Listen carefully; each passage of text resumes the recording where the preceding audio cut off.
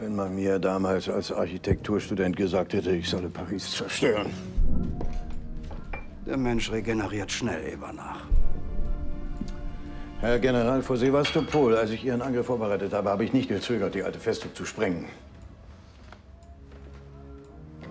Ebernach. Bei Sebastopol musste ich die schwerste Pflicht meines Lebens erfüllen.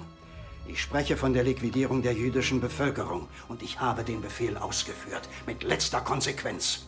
Ich weiß. Wir haben die Gräben ausgehoben und wir haben sie zugeschüttet. Und heute geht es um Paris.